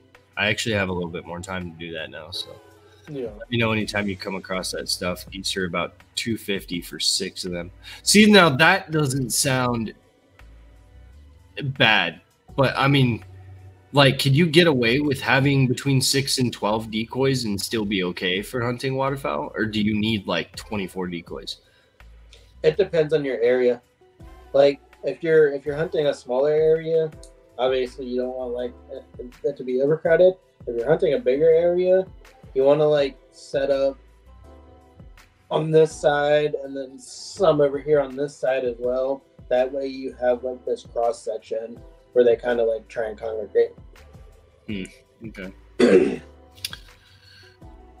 But yeah, guys, uh, it's been awesome. It's been a great night. I've had fun. We actually got some views, so obviously these tags worked, which I am grateful for because uh, a lot of our other live streams, you know, we were sitting anywhere between zero and two. Yeah. Um, but yeah, guys, we had a blast. Like I said, if you guys ever want to get in on one of these live streams, if you guys want to come in and just hang out, um, you guys can always ask. Uh, we're gonna start throwing the link up. I don't know if I'll have the link up all the time. It'll just be kind of when we're allowing people to come in and, and hang out, uh, talk about basically anything outdoors, fishing related, whatever you guys want. Um, I don't know what. What do you think we should? What do you think we should go for next week? We'll let everybody know what what we're going to talk about next week. We we got to find something specific, or do you want it to be based on I think what we need to do is we both need to get like a video out and then do a live. Junior, what's going on? Sorry I missed it. Ah, we're not done yet. We're just kind of starting to wrap up. We talked about a lot today. Actually, you missed out on all the all the fun shooting talk. Actually, that was part you missed out on. So yeah, guys. Uh, Kelly down below in the comments. He's watching on Facebook right now. Um, that's my wife's nephew. Uh, he likes to fish. He likes to hunt. He likes doing all the stuff that I like doing. So, hopefully, maybe I can get him in a couple of videos too. I know that me and him have talked about going fishing together a few times, but he lives kind of far away. Comes down on the weekends and stuff. So, but what you need in your videos, uh, not necessarily need, but what I would personally like to see, what I'm sure other people would like to see, is you need a cameraman where like you can actually be in the video, like it, you can see you fishing. You know what I mean? Oh yeah, dude. It'd be and that that's honestly why I like when we first started this. When me and Bruce first started it, my plan was that we would both have GoPros, and we would be able to use cross footage to get each other talking and stuff like that. You know. Right. And now, like I'm thinking, is it worth it? Is it beneficial for me to buy another GoPro? Or is it better for me to actually buy a legit camera, something that has all of the accessories to use to hold it, plus the the tripods and stuff.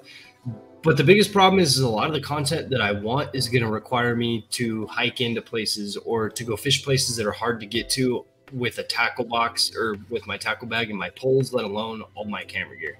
So yeah, it would be nice having somebody that can even maybe just come, you know, just film for like one video a month or something like that. Just yeah, yeah. But that, that's another reason why honestly, honestly, so a lot of the hiking stuff, you don't need to take all the camera gear, especially if you have someone with you. You know, you can have them go up ahead and set up and then have you like coming up the hill yeah, and I mean, I can always, I could always go set up, walk back, walk forward like everybody else does. And I've thought about that, and that's why I've I've wanted to move into this bushcraft stuff so hard is because I'll actually be able to get my face on camera more because I'll be more stationary most of the time. I won't be, you know, so much just constantly moving around. So yeah. And they make this GoPro accessory that clips to your GoPro chest harness I don't have it, but it's like an extension arm. So you could have two GoPros. Uh, like a selfie stick. Faces out. Yeah, you have one that faces out and then like one that faces in.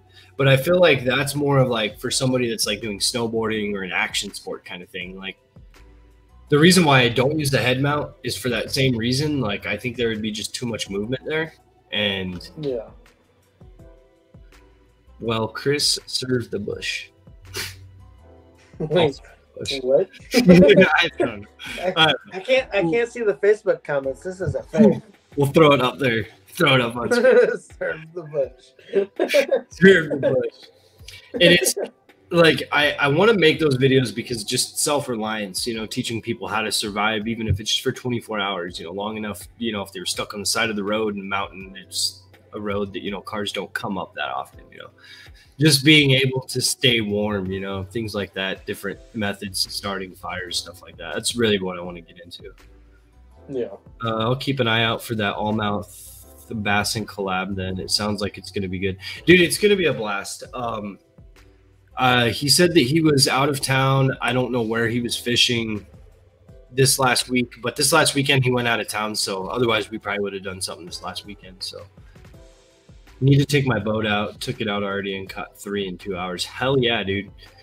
Dude, what you should do is you should bring your boat down here for like a weekend, dude, and we'll just make a whole video on us out on the boat all, all weekend. We'll even bring the boat to Virginia.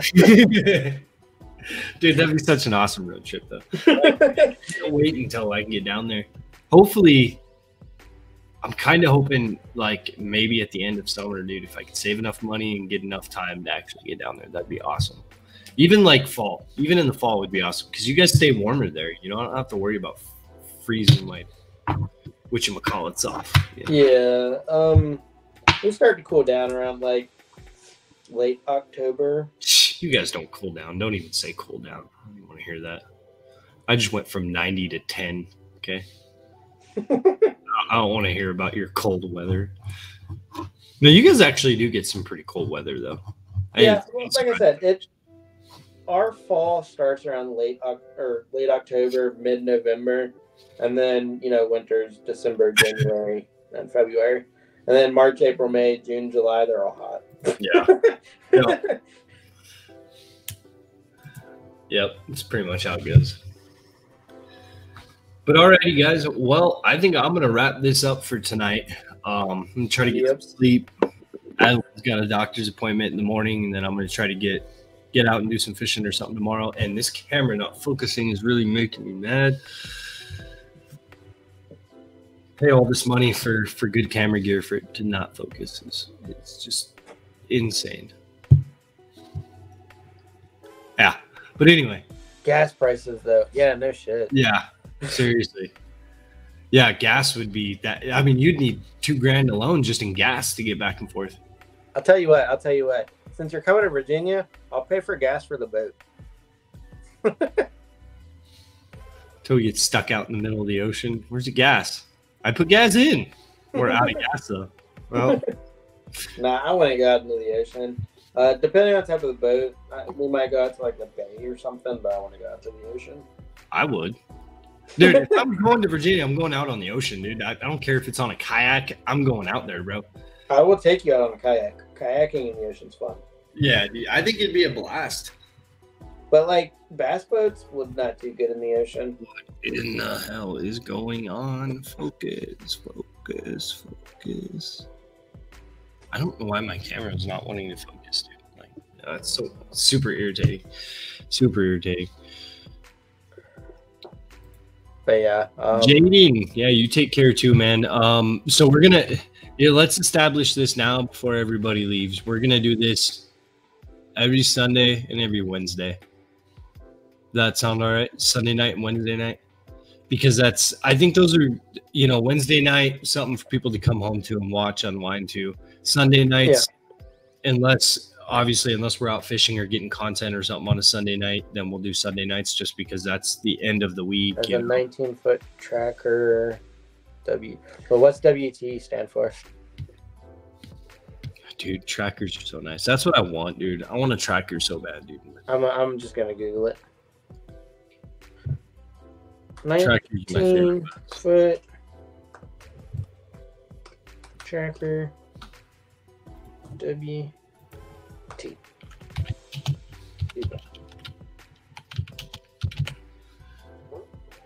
Yeah, that would have made it on the ocean.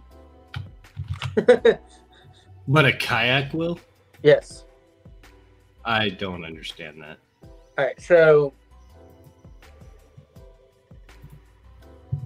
So let's Kayak- pull this up. kayaks can flip over, but it's easier to roll a kayak back over than a boat. Ah, man, that's Um, a sexy boat though. Oh if- man, if you mm, take jelly. that on out on the ocean and you hit like a four or five foot swell, it's probably just gonna tip it over. bro, there's a video. They're on the ocean.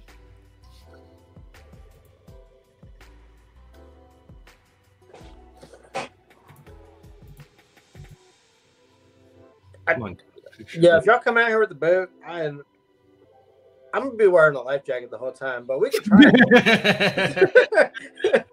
Uh, he brings up the life jacket instantly. Yeah, if, uh, if you want me involved, bro, I got it. I, I also, I also, Oh, I'm, gonna be, I'm be bringing my kayak on board, so when the boat goes under, I, I can paddle back to shore. I'll set I mean, I- for y'all. I typically wear a life jacket anyway. I mean, like I said, yeah, I'm about being safe. Um, I I tend to, you know, like I'll pull my life jacket off um as long as it's next to me like if I'm out somewhere where it's calm, you know, and I'm just sitting there fishing on on my little yeah, boat. so But for the most part, I have my life jacket on. like lakes and stuff, I I don't wear my life jacket. I'm not a great swimmer, I, I can admit that.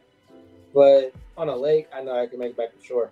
I wear my life jacket when there's like either a swell or fast moving water.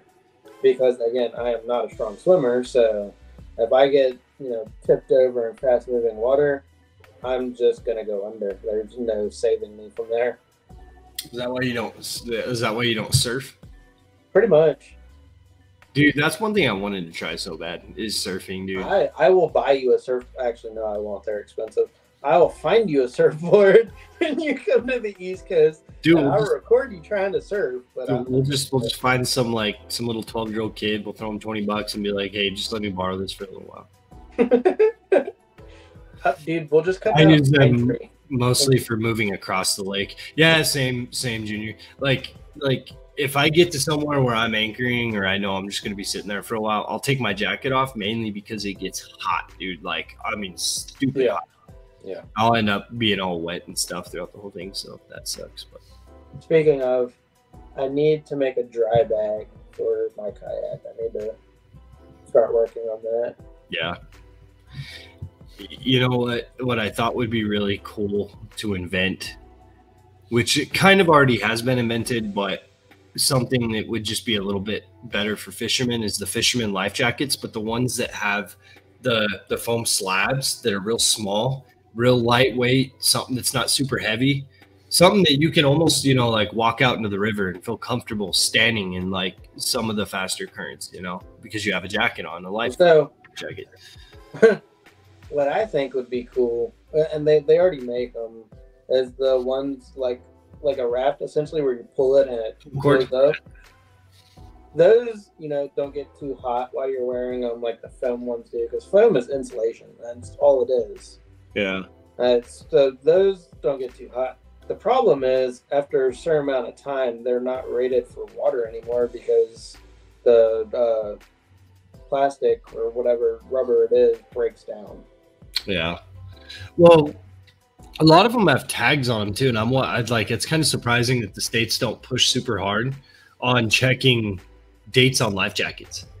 Like, I don't even think that people know that there's actually a date on your life jacket. That says, So you know, here, they don't. Actually, you don't even legally have to wear it here, but for any vessel you're on that has an engine over five horsepower, actually, it's probably any vessel you're on. But I know specifically for any vessel you're on that has an engine over five horsepower, ev- there has to be a life jacket for every person. On that's how it is here, and it's. I mean, it's.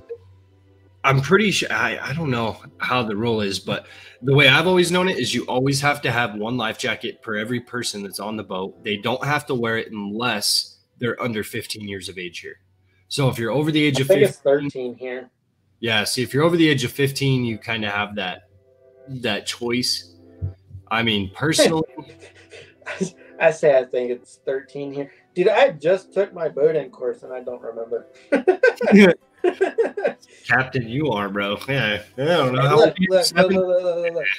Yeah, When I am driving the boat, everyone will have one available to them if they want to put it on. You can't force people, man. I mean, it's the way I see it is it's it's their ticket. You know what I mean? If if they want if they don't want to follow rules, and then it, Yeah. But what, what ends up happening is it falls back on the person that's operating the right, right. Unfortunately, it falls on the captain where it should fall on, you know, say for instance, I had a boat and I took you and, you know, the girls out and they didn't want to wear it. It should be your ticket, not mine. But because I'm the captain of the boat, it is my ticket Yeah. because I'm responsible for all parties. Yep. Oh, well, alrighty, guys. Well, I think I'm gonna wrap this up. Frodo, are you gonna stay live for a little bit, or? No, I'm, I'm jumping off team. Yeah, we've been at it for about two hours, guys. So, once again, thank you guys for watching. Please like, please subscribe, guys. Hitting that subscribe button is really going to help us. And if you hit that notification bell too, um, it's going to let you guys get notified anytime Yeah. we post content. So, And if everyone can hop over to my YouTube and subscribe to me, that'd be great. I'm still trying to get to 100 so I can make a custom URL. I'm tired of sharing my channel out, and it's like youtube.com slash JYX95, whatever. I wanted to say youtube.com slash hookfishing. yeah, so I want to get to 100 subscribers. Anyone that can help me out, I will subscribe back. Even if you don't have content, I don't care. I'm just trying to get to 100. yeah, guys. Make sure you guys help him out. Um, and uh, make sure you guys are following our social media accounts, especially Instagram. We kind of give sneak peeks and stuff, what's coming up in future videos and stuff. And I know I'm going to be doing a 24 hour sneak peek before every video that comes out if I have the chance. So uh, Junior said he's going to sub to you.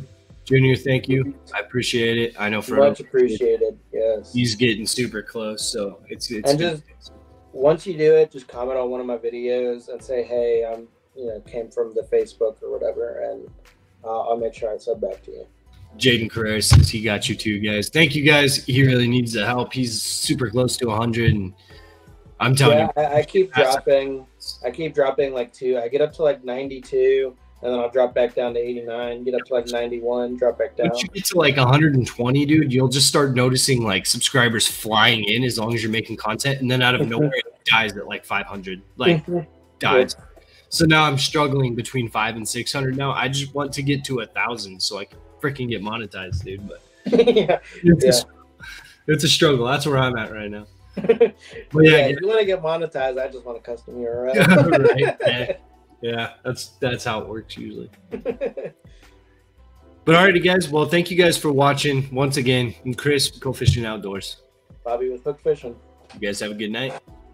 Later.